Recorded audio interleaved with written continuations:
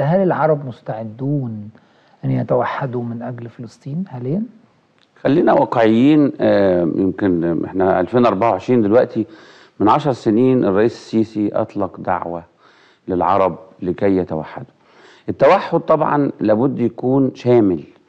آه، شامل يعني لابد يكون توحد الوحدات السياسية الدول العربية. لابد يكون في آه، تكامل اقتصادي. لابد يكون في جيش عربي موحد. لابد كمان الشعوب العربية يعني تندمج آه، توحيد عملة حاجات كتير جدا. فالرئيس يمكن أطلق دعوة في 2014 في بداية حكمه لإقامة آه، ليس جيش عربي آه، لتحرير فلسطين. ولكن كانت الدعوة رقيقة جدا عايزين نعمل قوة عربية مشتركة لمحاربة الإرهاب. بدل مثلا ما يبقى في آه، مجموعة من الإرهابيين يقتلوا مجموعة من المصريين في ليبيا فتطلع القوات المصرية تضربهم في ليبيا فيتقال في التاريخ إن مصر ضربت في ليبيا لا يتقال ساعتها إن القوة العربية ب- بأوامر من جامعة الدول العربية وتصديق الرؤساء العرب قامت بضرب البؤرة الإرهابية اللي موجودة في ليبيا بالتنسيق مع الإخوة الليبيين نفسهم أي. ده الكلام ال- المحترم اللي المفروض نبدأ. ثم بعد كده ال- القوة العربية تتحول إلى جيش عربي يبقى كده تو- عملنا توحد عسكري. بعد كده نعمل سوق عربية مشتركة ونوحد العملة. من أوروبا النهاردة لغت عملتها وبقت عملة واحدة اليورو. أنا دايما أقول حتى يعني على سبيل الفكاهة كده لأولادنا وأنا بدرس لهم طب ما نعمل إحنا العورو ما يبقاش في ريال ولا جنيه ولا درهم ولا دينار.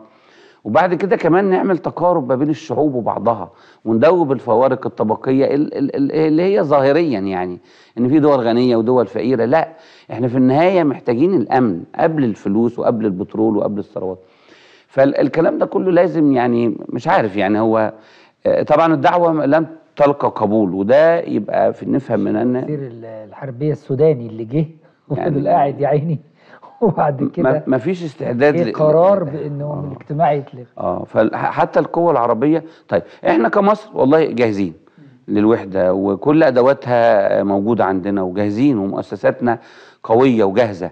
آه، من أول ال- ال- الاقتصاد لغاية ال- ال- القوة العسكرية لغاية ال- القوة الناعمة العربية. عندنا الأدوات دي كلها ومؤسساتنا قوية جدا وعندنا خبرات و- وميراث حضاري و- وحاجات وتراكم خبرات. آه، مش موجود في بلد تانية. المفروض يعني إحنا بلد المية و- و- وقلنا 20 مليون النهاردة مثلا عايشين في مصر.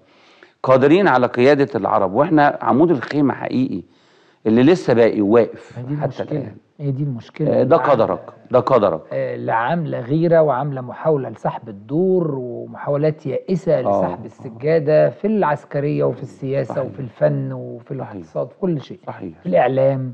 صحيح. ده ده حقيقي.